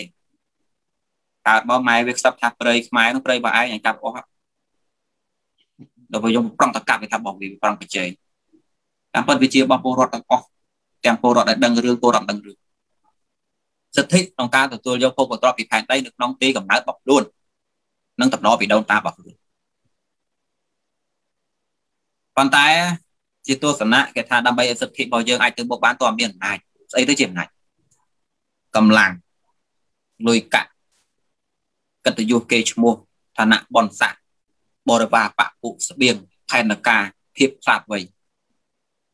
សរុបមកថាអ្វីក៏ដោយដែលជួយឲ្យសិទ្ធិរបស់យើងនឹងបានសម្រេចគេហៅថាអំណាចអញ្ចឹងនៅក្នុងប្រទេសមួយត្រូវតែមានកងទ័ពចង់មិនចង់ក៏ត្រូវមានកងទ័ពដែរមិនមែនដើម្បីសម្រាប់ពលរដ្ឋឯងប៉ុន្តែជាប្រកាសទុកហ្នឹងគេលោកមានអាខាងណាវិជ្ជាទៀតអញ្ចឹង បើយើងគិតទៅស្ដាយថាខ្ញុំប្រទេសខ្មែរនឹងបៀតបៀនខ្ញុំជាមួយអន្តរជាតិអីអត់មានកងទ័ពសោះទៅមិនកើតបើវាគោរពគោលការណ៍សិទ្ធិដូចតែយើងដែរអានឹងមិនបាក់អីមានកងទ័ពតែដល់វាមិនអើពើពិបាកដែរតែបើយើងមានកងទ័ពដែរប្រទេសយើងមានកងទ័ពឯករាជ្យតលមានសេដ្ឋកិច្ចល្មមមុខមាត់ខ្មែរយើងនៅក្នុងឆាកអន្តរជាតិមកសំរុំដែរគេថានៅក្នុងអាស៊ានយើងស្មើគេដែរអញ្ចឹងត្រូវតែមានអាហ្នឹង សំអាងទៅរឿងសិទ្ធិដូចអ្នកស្រុកខ្លះគាត់ទៅរឿងស្រែកសិទ្ធិអូយខ្ញុំជាម្ចាស់ប្រទេសគិតម្ចាស់ប្រទេសផងវាទៅរួចអារឿងសិទ្ធិនិងសិទ្ធិហើយប៉ុន្តែវាទៅរួចកាលណាវាអត់មានអំណាចទៅរួចទេឥឡូវឧទាហរណ៍ងាយងាយឧទាហរណ៍ថារបស់យើងនឹងបុកមិនទាន់បានស៊ីផងគេនិយាយបាត់សិទ្ធិគឺរបស់យើងឯងប៉ុន្តែពេលគេយករបស់យើងបើយើងអត់មានកម្លាំងមិនដោះស្រាយចេញចង់និយាយថាវាមានអំណាចផងមិនថាអញ្ចឹងដែលដែលលោកចាស់លើកឡើងថា ឲ្យលោកអូនរានិយាយតើវិធានការយ៉ាងម៉េចអំណាចរបស់ខ្ញុំកណាអត់មានទេខ្ញុំកណាមានសិទ្ធិថាតលេនោះបើអញដែរអញឲ្យអាណាជួយអញចឹងឲ្យអាប្រទេសនោះពីប្រទេសបើអញដែរមិនឲ្យអាណាចូលអាណាធិបតេយ្យចឹងអានឹងជាសិទ្ធិឲ្យក្នុងការហួងហែងពុកទ្រព្យពីដូនតាប៉ុន្តែអំណាចត្រូវបានច្បាប់កំណត់ហើយកាលណាយើងគូស្លឹកស្នោនោះមកខ្វាច់មកខ្វាច់ទៅនឹងវាស្មើយើងប្រគល់អំណាចទៅក្នុងស្ថាប័នមួយ អញ្ចឹងបើពលរដ្ឋណាចង់ទៀមទាថាខ្ញុំមិនគប់ចិត្តទេរឿងអាណានៅអាណាធិបតេយ្យហ្នឹងត្រូវត្រូវទៅស្ថាប័នរដ្ឋនោះបើរដ្ឋគេចាត់ការបានត្រឹមត្រូវតាមច្បាប់ហើយអាចទៅរួចបើពួកយើងឡាយឡាយឡាយឡាយតាម Facebook ហ្នឹងចាត់ការយកចាត់ការយកត្រូវតែងយកត្រូវតែងយកទៅរួចទេនិយាយខុសទៅនោះគេចាប់ដាក់គុកផងវាចូលបតនេះបតនំទាំងនេះច្បាប់ស្រុកខ្មែរយើងតិចញុះញង់តិចញុះអត់យល់មកឡើយនឹងរៀនឡាយរៀនឡាយណាក៏យល់អារឿងញុះញង់អត់យល់ដល់ តែបើមានពេលវេលាខ្ញុំកណាសុំនិយាយរឿងលក្ខណៈនៃការញុះញង់តិចបាទកណាមុនចាស់ទុកមកយេស្ដាប់ពូនរ៉ាតអូបតឯងយកមួយទៀតចោះមុនមុនឧទាហរណ៍ខ្ញុំកណាកំពុងអង្គុយអង្គុយតែគេមកវាយក្បាលឬថាមកបោកចពយកទៅបាត់ទៅនៅពេលឯងខ្ញុំគាល់ជាបោះខ្លួនឧបាទានមានគេបោកចពទៅមិនទៅបោកចពមកវិញ ទៅពេលបោកឈ្នះមិនជេមិនមិនជេមិនស្ដីអាចោអានយេអានយកអថោកទៀតអីចឹងមកទោសសួរថា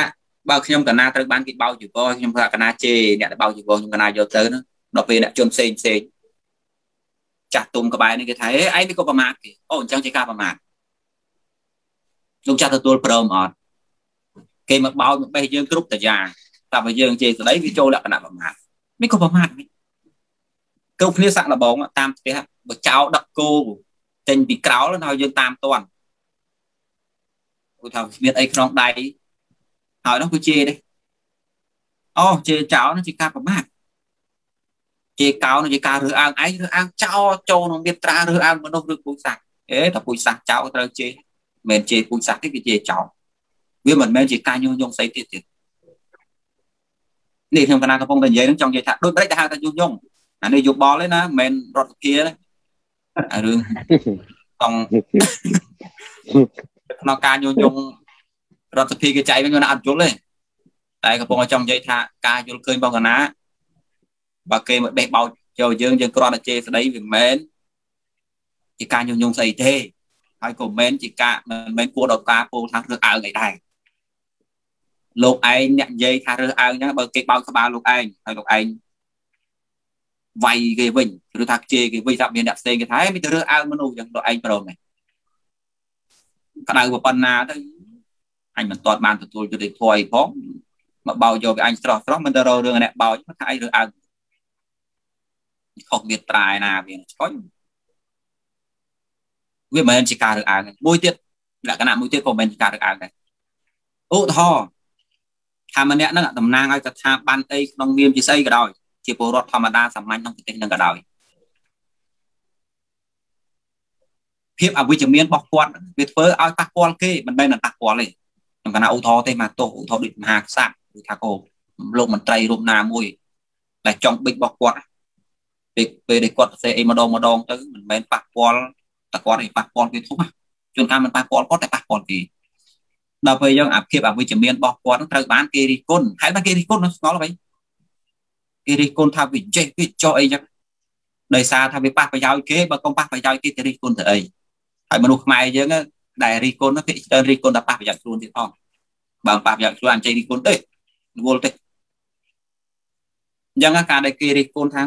ស្ថាប័នលោកនេះលោកនោះឬថាអង្គនេះអង្គនោះស្ដេចអង្គនេះអង្គនោះអត់អសោះខ្វះអសមត្ថភាពចេះចេះចេះ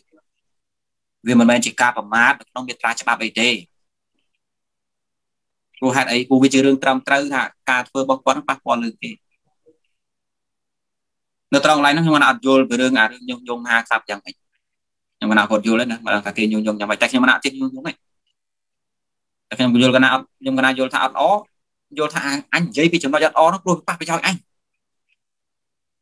ប៉ះប្រយោជន៍បងប្អូនអីចឹងតើជាការញុះញង់ស្អីពាក្យខ្មែរបើយើងស្ដាប់តទេតទេ គ្រាន់តែពាក្យថាញុះញង់មិនថាវិចាគឺថាចេះសំរឿងនិយាយទៅស្ដាប់អាញុះញង់មិនได้ថានៅមិនសុខទេវាចេះតែសំរឿងអាគ្មានអីសោះចេះតែសំរឿងបានហៅថាញុះញង់ដូចថាមកខាងមិត្តភក្តិគេកំពុងអង្គុយក្បែរគ្នាអញ្ចឹងទៅឯងទៅក្តិចខ្នងពីក្រោយគេគេច្រឡំអញ្ចឹងណា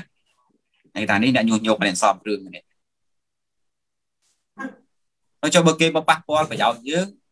ក្រន់ល្អម៉ាល្អទៅប្រមាថអឺល្អមិនកុំល្អឯងល្អលើគេខ្ញុំប្រមាថគេ គណៈអត់យល់អំពីមេត្រាច្បាប់មិនដឹងយ៉ាងម៉េចជាដីសម័យថាអោបើអញឲ្យមានវាសនាអីទៅអាចមានសមត្ថភាពកែប្រែច្បាប់អីនោះដឹងតែកែកន្លែងហ្នឹងហ្មងពួកវាអត់យល់ជាកូនខ្មែរមរុកគាត់ថាគូក្បាលខ្លួនឯងល្អដែរគិតមិនយល់មិនគេហៅថាញុះញង់អាចយល់សោះនេះតិចញុះញង់តិចតិចញុះញង់បើវងកញ្ចក់តិចចោះកណាមិនសើរើទេដូចប្រហែលអ្នកដែលត្រូវបានគេចាប់ខ្ញុំកណាក៏មានថាមិនដែរ ដោយសារថាចំណាត់ការបរិវត្តគេបានលើកគឺគេផុសទេថាខុសនៅក្នុងយត្រាតកតងនឹងប្រមាថអាខ្សាត់ហើយនឹងរួមក្បត់ខ្ញុំកណាមកដឹងថាពួកគាត់បានទៅធ្វើអីអត់បានដឹងជីវិត3អ្នក4អ្នកហ្នឹងខ្ញុំក៏មិនដឹងថាម៉េចដែរប៉ុន្តែខ្ញុំកណាគ្រាន់តែចង់និយាយថាម៉េចទៅហៅថាប្រមាថខ្ញុំថាញុះញង់ណាអត់និយាយរឿងប្រមាថទេនិយាយរឿងញុះញង់ទោះនិយាយរឿងប្រមាថក៏ក្នុងន័យហ្នឹងដែរស្អីគេមកប៉ះពាល់យើងគ្រាន់តែយើងតបតទៅវិញជាការប្រមាថ បើឯងមិនចង់ឲ្យគេប្រមាថឯងប៉ះពាល់គេទៅតំណែងក្តីមុខងារស្អីក៏ដោយពេលដែលយើងចូលទៅកាន់ណាត្រូវមានទំនួលខុសត្រូវក្នុងនាមជាអីក៏ដោយទទួលប្រាក់ខែពីកន្លែងហ្នឹងបើយ៉ាងទំនុកចិត្តឲ្យមហាជនគេទទួលឲ្យយើងឲ្យសត្វយើងជាអគុះអញដឹងទេគេឲ្យសញ្ញាសញ្ញាគេឲ្យសញ្ញាសញ្ញាវាប៉ះគេគឺប៉ះអ្នកនៅពីក្រោមវិធានាអញ្ចឹងទៅគ្នាទៅពលអូរទៅទៅប្រមាថវាត្រាច្បាប់អីក៏អយុត្តិធម៌អីយ៉ាងលោម៉ាក់ពី ស្រុកយើងឧទាហរណ៍ឈរឈរមុខវាំងអើយស្អុយអាចដល់ជុកអាចមកពីណាបលយកនៅតាណាពីទឹកពីនេះអេពិបាកមែនពួកនេះនេះឯងប្រមាថយូរហេតុហីឯងនឹងមកពីណាប្រមាណបាទខ្ញុំកណាយល់ថាពេលណាដែលភាពអវិជ្ជមានរបស់យើងបង្កផលប៉ះពាល់ដល់គេការដែលគេថាស្ដីក្តីមិនមែនជាការជំនុំឬប្រមាថអីទេទៀតបើទោះបី AI តំណែងជាស្ដេចអីក៏ដោយមិនមែនជាការប្រមាថទេ នេះខ្ញុំបាននិយាយកំណត់ទេណាមួយទៀតការនិយាយដោយក្តីសង្ស័យដោយក្តីបារម្ភហួងហែងទោះបីមិនច្បាស់ការក៏ដោយពីពលរដ្ឋអ្នកស្រុកខ្សែយើងគាត់អត់មានការយល់ដឹងអីគាត់មិនដឹងពីការគ្រប់គ្រងរដ្ឋបែបបែបបែបបែបគាត់លើតែព័ត៌មានវាយ៉ាងអាស្រុកយើងព័ត៌មានខ្លះព័ត៌មានកាច់មូលរដ្ឋាភិបាលបើនឹងជាเพจបារាយវានឹងណាណាណាណីវាមិនដែរដាក់រូបពិតផងវាមិនដែរចេញ live ផងវាដឹងតែសរសេរ ឯងជាទុកចិត្តណាក្នុងអារម្មណ៍របស់ពលរដ្ឋខ្មែរយើងឲ្យតណាគេប្រឆាំងជាមួយនឹងយួនអីយ៉ាងមកទោះយ៉ាងចាស់ឲ្យតណាគេស្អប់រដ្ឋាភិបាលដឹងតែល្អដឹងណាខ្លះដឹងណាណៃផងដល់ពេលយើងចេះតែសេឲ្យពលរដ្ឋខ្មែរយើងគាត់បើក Facebook គាត់បានតាមដានអីច្រើនកណាក៏វែងច្រើនដងដែរគាត់ចេះតែគាត់អូរឿងនឹងអញ្ចឹងទេអូស្រុកយើងចេះឲ្យស្រុកយើងយកឲ្យព្រៃគេយកឲ្យរ៉ែគេយកឲ្យស្អីស្អីអាណាគេធ្វើយកធ្វើយកខ្ញុំកណានិយាយតែរឿងអត់ពិតទេមានពេលខ្លះអត់ពិតទេ រឿងតាំងពីណានោះតែវាដោះស្រាយរួចហើយនឹងលើកបន្តទៀតជួនកាលរឿងដែលលើកមកហ្នឹងវាពិតដែរប៉ុន្តែវាថែមគ្រឿងហ្នឹងចាត់ទុកថាពិតដែរវាថែមលើហើយនោះបបរស្ករទៅថែមអំបិលហើយវាទៅជាបបរគ្រឿងអញ្ចឹងណាអានោះវាខូចជួនកាលវាជាការថែមគ្រឿងជួនកាលវាជាការបដិទ្ធសតដើម្បីបាន like បាន page បានស្អីបាន page ឈ្មោះអ្នកក្លាហានតាម Facebook អីចឹងទៅហើយយើងនឹងមិនដឹងអីតាមក្រោយហ្នឹង ដល់ពេលក្តៅចុះធម្មតាឧទាហរណ៍យើងសក់សក់ថាគេនិយាយថាដីយើងបាត់ហើយណាណា20ក្នុងនាមចាស់ប្រទេសព្រៃយើងក៏យកអស់ហើយប្រែយើងក៏យកឲ្យឲ្យមិនចេញលោដល់ពេលដល់ពេលភ័យមិនលោភ័យទៅមិននិយាយអូអញ្ចឹងទេមិនគួរណាអ្នកកាន់ការងារប្រទេសជាតិនឹងធ្វើអញ្ចឹងទេលោកឯងខំគេបោះឆ្នោតឲ្យគួរធ្វើអញ្ចឹងការដែលគាត់និយាយចង់ចង់វាជាការញុះញង់ស្អីយើងទៅចាប់ពីសម្ដីគាត់នេះឯងយើងអត់ពិតទេញុះញង់អត់ត្រូវទេ បើខ្ញុំកណាជាអ្នកតែងច្បាប់ថាមិនមែនជាការញុះញង់អីទេធម្មតាឧទាហរណ៍ដែលយើងម្ចាស់ផ្ទះដីលើផ្ទះសម្រាប់លឺសលេងក្រោកក្រោកក្រោកក្រោកក្រោកដូចថារបៀបដូចគេគោះនឹងរបៀបដូចគេគោះស្នៀតក្រោលគោដឹកគោអញ្ចឹងឯងវាស្ដាប់ច្រឡំតាមពិតទៅដល់វាកកេមិនឈើទេពូផ្ទះយើងវាធ្លាប់ចោលមកលុយពី3ដងហើយនោះដល់ពេលក្លោលឺកដល់គេដឹកឈើគេមេឈើឯងភ័យពុស្រែកវាស់កដាលផ្ទះចៅលួចគោហើយតែអត់ពិតទេណា អូយ៉ាងដល់ពេលយើងស្រែកអញ្ចឹងវាជាការញុះញង់វាជាការបង្កអសនៈផ្នត់សង្គមយ៉ាងណាអត់ទេកន្លែងហ្នឹងគួរទៅដល់ការអនុគ្រោះដល់ពលរដ្ឋថាពលរដ្ឋខ្លះគ្នាដឹងទេក្រសួងគួរតែមានមេត្តាធម៌ហ្នឹងពលរដ្ឋខ្លះគ្នាមិនដឹងអីទេតែចេះតែល្អចេះតែថាចេះតែឡាញនិយាយភ័យព្រួយតាម Facebook ដែលស្អាតដឹងអីទី1ទទួលយកព័ត៌មានខុសទី2អារម្មណ៍នៃការខ្វល់ខ្វាយអ្វីដែលជារបស់ខ្លួនវាអត់ខុសទេបាទអត់អញ្ចឹងណា យ៉ាងមកថាបើល្អក៏មើលដែរល្អមានផុសតាមផងល្អនេះតែលោកអត់ផុសតាមទេប្រយ័ត្នតែខ្ញុំកណាយល់ថាអត់ត្រូវវាមិនជាការញុះញង់បើទោះបីវាខុសរឿងពិតក៏ដោយប៉ុន្តែនេះជាអារម្មណ៍ពិតការព្រួយពិតដោយចិត្តស្មោះត្រង់ទៅគ្រាន់តែជាការងងខ្លាំងឲ្យយើងជាម្ចាស់ប្រទេសឲ្យរដ្ឋនឹងឲ្យរដ្ឋនឹងពលរដ្ឋហ្នឹងឲ្យឲ្យសាច់ឈាមមួយគ្នា ឬថាយើងមានកបិតមួយដៃស្រួយគេប្រគល់ឲ្យឲ្យកាត់មេឈើគេឲ្យកាត់ឲ្យស្អាតកាត់ចេញក្បាច់ហ្នឹងមិនមែនជាអានតែកបិតមុតអញកាត់ហ៎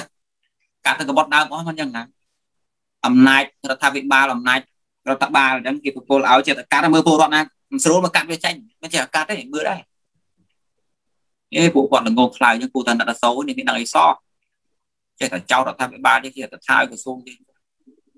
ដែលវាគួរតែប្រើធនហ្នឹងបានវាសម នេះខ្ញុំកណានិយាយចោលខណៈគេចោលរំពាក្យយើង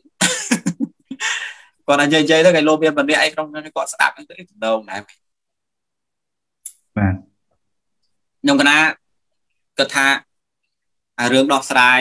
លោកចាស់សួរថាអន្តេសួរថាចំណាត់ការយ៉ាងម៉េចគឺចំណាត់ការរបស់អឺរដ្ឋាភិបាលតំណាងរាជធានីភ្នំពេញអភិបាលក្រុងនោះ គេរុញទៅហ្នឹងខ្ញុំតាណាគាត់នៅជាបលថាបើបានពួកគាត់ខុសច្បាប់ណាពួកដែលខុសច្បាប់ឯងពួកតាមច្បាប់រដ្ឋយើងតែខុសច្បាប់ទៅវិញហ្នឹងវាត្រូវហើយបើបានពួកគាត់ទៅវិញស្អាតទៅព្រោះស្រុកយើងប្រជាជនយើងល្មមប៉ុណ្ណឹងហើយគួរណានៅទេទេដឹងទេហើយចូលមកខ្លះហ្នឹងវាមានពីរប្រភេទខ្លះគាត់ចូលមកគាត់នៅនឹងគាត់រស់អីហ្នឹងទៅគាត់ទទួលយកពុទ្ធសាសនាផងគាត់សេពគប់លោកផងគាត់សេពគុំចរិតខ្មែរផងទៅយូរទៅវាខ្លាចជាខ្មែរ ពេលណាយើងនិយាយពីខុសពីត្រូវគាត់ចេះអៀនខ្មែរដែរណាគាត់រកស៊ីសុចរិតនឹងកណាស្គាល់បាក់អីយួនក៏ដោយចាមក៏ដោយចិនក៏ដោយតែគេជាមនុស្សស្មោះត្រង់ល្អហើយគេឆ្លាតជាងយើងចំណុចវិជ្ជមានរបស់គេត្រង់ថាក្បាលរបស់គេលះហាជាងយើងមិនដឹងជាជាប់ផ្សេងនោះមិនដឹងយើងអាស្ពឹកតាមគេមិនតាន់ទេលះជាងឧស្សាហ៍ជាងពួកគាត់អានោះនិយាយវិជ្ជមានលះជាងឧស្សាហ៍ជាងផ្លាស់ប្ដូរលឿនជាងឆ្វេងឆ្វេងស្ដាំស្ដាំលឿនជាង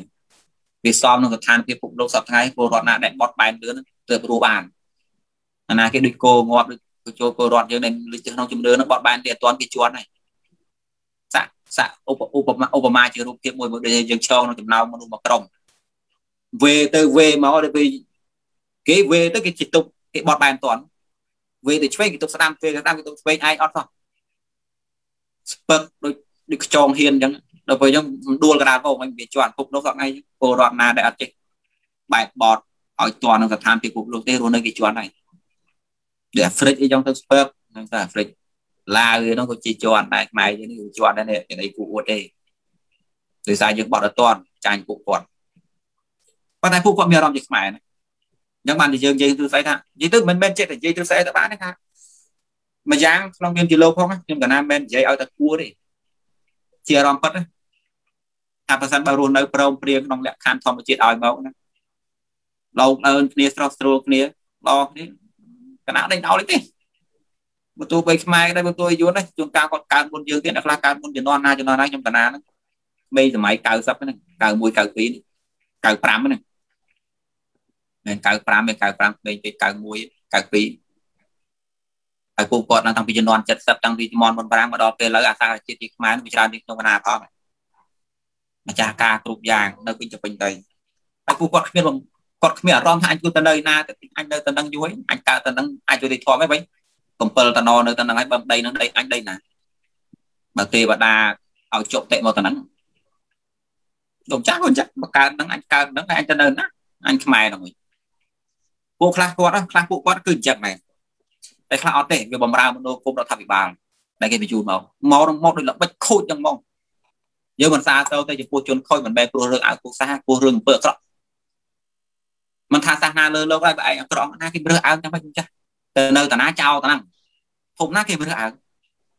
នេះអញកើតហើយនៅភូមិកពួកកនេះរឿងអញដល់ដល់ហ៎ដល់ពេលទៅនៅភូមិខទៅដល់ប្លន់កបីគេឬអីគេវាយក្បាលអេពួកនេះរឿងអើងអញវិញទៅនៅភូមិកោទៅនៅភូមិកោទៅដល់នោះដូចមន់គេទៀតលោកកូនគេទៀតណាណាគេរឿងអើងធម្មជាតិដែលចោលមនុស្សចូលចិត្តទេ រស់នៅដោយផែនការល្បិចកលគាត់វិធ្វើមិនទាំងគៀបសង្កត់គេគេបាញ់ពីគេណាណាគេស្អប់ទោះបីខ្មែរដូចគ្នាដែរតាមចូលចិត្តកុំសម្បាងត្រង់ថាខ្មែរអីយួនអីអត់ចូលចិត្តដូចគ្នាលោកចាស់ចូលចិត្តចៅអត់នៅបន្ទប់មួយគ្នាគាត់វាគេងបបាញ់ស្អីក៏គេងបបាញ់ស្អីក៏យកព្រៀបអត់ចូលចិត្តសោះហ្មងមិត្តភក្តិក៏តែឃើញយកព្រៀបក្នុងសបត់បើនិយាយទៅមនុស្សវាអត់ចូលចិត្តភាពលោកពៀនហើយសាសនា ខ្ញុំកណាយល់ថាអញ្ចឹងដូចគ្នាសម្បីតែអ្នកដើមលោកពៀនគេកុំចូលចិត្តគេលោកពៀនខ្លួនដែរហើយបើឯងមកដល់ផែនការអញ្ចឹងអាណាគេខាមស្ដីអាណាគេស្អប់ទៅតាណាភ្នែកនៅកញ្ចឹងកទៅក្នុងប្រឹងតែឆក់ប្រឹងតែលួចប្រឹងតែគេវាញ់មកដោយផែនការទៅបាបគេចឹងអត់ចេះជប់អត់ទេឈរអាមនោគមបិសាចណាណាគេមិនចូលចិត្តបើទោះបីលោកពាក់ជពោមិនតាំងនៅក្នុងសិលដែរអត់ចូលចិត្តទេពួកអញ្ចឹងទោះបីតែលោកយកព្រៀបពីលើដែរ គឺជាការចូលចិត្តឬវាអត់ត្រឹមត្រូវវាមិនមែនតកតងរឿងរូបពូជសាសន៍ទេអញ្ចឹងបានខ្ញុំកណ្ដាលនិយាយថាសម្រាប់អ្នកណាដែលគាត់មកអន្តោប្រវេសមកខុសច្បាប់មកដោយល្បិចកលហ្នឹងចំណាត់ការរដ្ឋាភិបាលឲ្យទៅវិញហ្នឹងសាធុ3ដងប៉ុន្តែប៉ុន្តែរឿងប៉ុន្តែអត់ទៅណាទៅដោយសារគេអះអាងថាមានកូវីដអីចឹងមិនឲ្យចេញចូលបើកណាជាចាំមើលពលរដ្ឋខ្មែរជួយចាំមើលផងអាឡងឡៃហ្នឹងជាលោកផ្លិចណា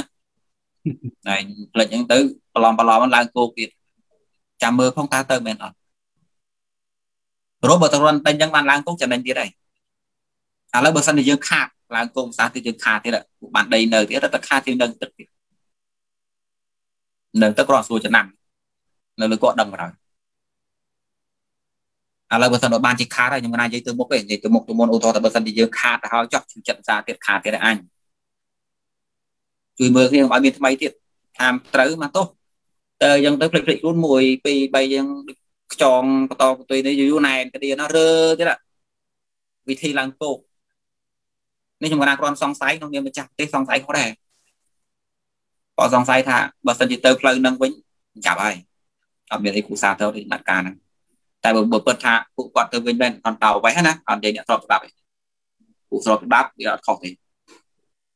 ទៅទៅទៅវិញហ្នឹងហើយអញ្ចឹងបើលោកចាស់សួរថាយើងមានចំណាត់ការអញ្ចឹងអ្នកកាន់ Facebook ចំណាត់ការយ៉ាងម៉េច ពលរដ្ឋគ្រប់រូបត្រូវដឹងថាអំណាចរបស់ខ្លួនប្រគល់ឲ្យប្រគល់ឲ្យស្ថាប័នរដ្ឋបាត់ហើយបើខ្លួនឯងមិនគ្រប់ចិត្តទេស្ថាប័នរដ្ឋមិនធ្វើអញ្ចឹងត្រូវត្រួតមើលថាថ្មីមុនបោះឆ្នោតអញកើតហើយអញចេះតែបោះបោះបោះឬថាអញមិនរៀបចំមិនរៀបចំប្រព័ន្ធដឹកនាំឲ្យល្អសិនឲ្យទុកចិត្តសិនតែបោះទេ